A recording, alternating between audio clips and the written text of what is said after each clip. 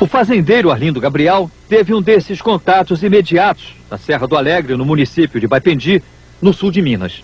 Depois, o fazendeiro nos levou até o local, onde ele disse ter visto e fotografado os objetos que pousaram a pouco mais de 200 metros de onde ele estava.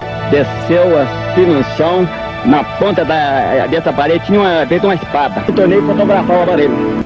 Então eu fotografei a fumaça também. Desceu um outro. Maior, né? Maior, branco. Ele dá um corpo de dois ônibus. Quando eles me pegaram, ele disse assim pra mim, em Deus nós todos somos irmãos, nós não fazemos mal a ninguém. Tinha uma tela de um lado, outra tela de outro. E vai lá, vai, aperta um botão assim, acendeu aquela lente. Ela disse, aqui é a lua. Apareceu pra cima o sol, ela disse, aqui é o sol. E apareceu do outro lado uma mancha. Não parecia se era a terra ou se era a luz, era uma mancha. Esquisita, feita uma gema de ovo. Então ela falou, aqui é onde nós estamos.